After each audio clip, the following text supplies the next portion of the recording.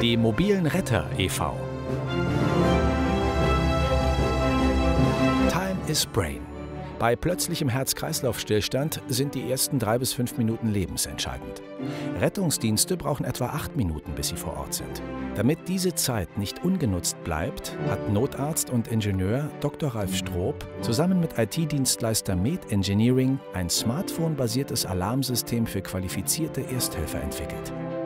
Geht ein Notruf unter 112 ein, wird über GPS der nächste Ersthelfer ermittelt und zum Einsatzort navigiert, wo er nach ein bis vier Minuten ankommt. Bis zum Eintreffen des Notarztes kann er die lebensrettende Herzdruckmassage ausführen.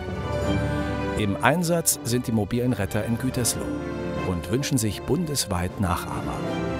Ein Wunsch, den sie mit Schirmherrin Bundeskanzlerin Angela Merkel teilen.